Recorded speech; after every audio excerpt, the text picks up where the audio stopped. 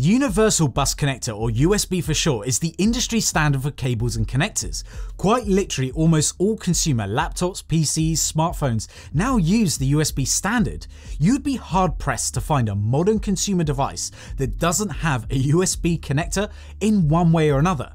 In today's video, we'll be looking at the two most popular types of USB, and that is USB-A and USB-C. So let's look at how these two versions compare with each other in terms of performance, user convenience, and adoption. Hello everyone, my name's Mike, and here at Sabrent we love to make and talk tech. So if that's what you're into, then make sure to hit that subscribe button and notification bell so you can stay updated with all our future videos. Thanks to USB, consumers don't have to worry about buying a hundred different connectors for their devices, and manufacturers can put USB connectors on their devices without worrying if they will be compatible with devices and cables made by other companies. And like any other technology, USB has progressed over time and has had various versions and iterations of the connector type, offering improvements in both data transfer speeds and power delivery. So let's start with USB Type A, the OG connector. This is the USB connector that you might be most familiar with. This is the standard connector used with most external devices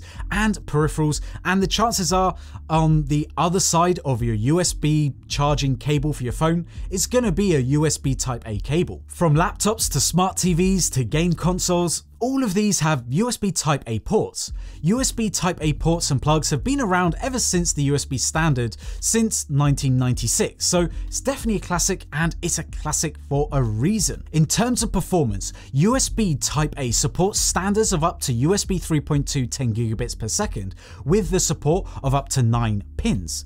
This is where the USB jargon can get a little bit confusing, but basically USB Type-A represents the physical shape of the connector plug and port, while USB 2.0 and USB 3.2 and so on and so on represents the USB standards. These standards dictate the data transmission and power capabilities of the USB connector in question. So USB Type-C was introduced in 2014 and ever since has increased in popularity. There are a few reasons reasons for this, and most notably is the conveniently shaped connector and excellent power delivery. The 24 pin double sided connector means that you can plug in a USB Type C connector without having to worry about which side is up and which side is down, providing a better user experience. USB C has a higher power delivery capacity, USB-C supports power delivery of up to 48 volts and 240 watts, thanks to the updated USB Type-C 2.1 specification. In terms of the performance,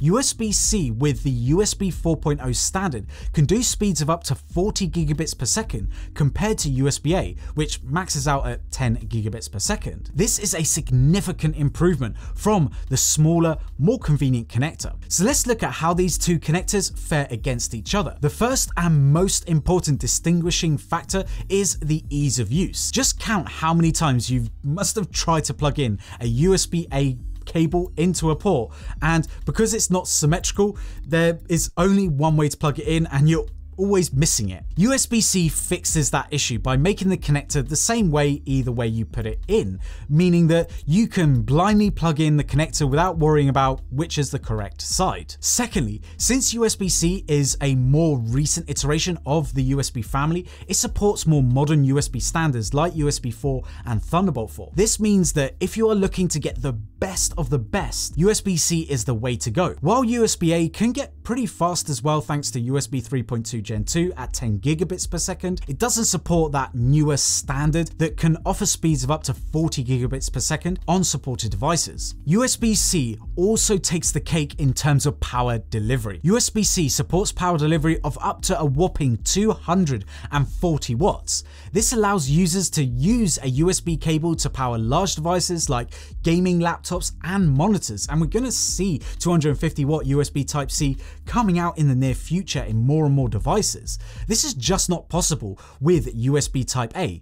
In fact, USB Type-C can also be used for video display instead of using an HDMI or DisplayPort cable, as it has the bandwidth to support DisplayPort 2.0 alt mode. This means up to a whopping 8K 60p for displays. This is just not possible with USB-A. USB-C is definitely the more modern of the two types of connectors and therefore offers the greatest speeds and ease of use as compared to USB Type The USB Implementers Forum, an organization that works on USB standards, is dedicated to making USB-C the universal connector of the future. USB-C supports standards as low as USB 2.0, so even your older devices can still be used with the right cable. Even Apple might be forced to support USB-C on its iPhones according to the new EU law that requires all devices to universally support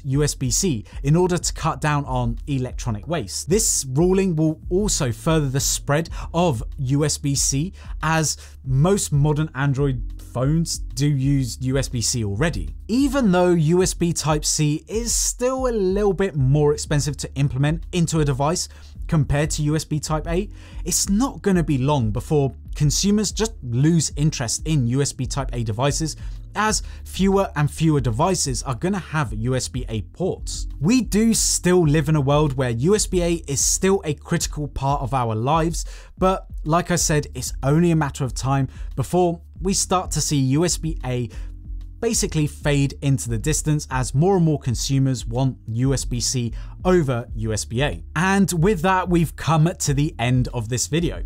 If you found this video interesting, then make sure to smash that like button and also hit that subscribe button and notification bell so you can watch more content like this. Also, leave a comment down below on what you would like explained or any other topics you would just like us to discuss or dive into a little bit deeper. I really love hearing your ideas. Anyway, look after yourselves and we'll see you in the next one. Bye.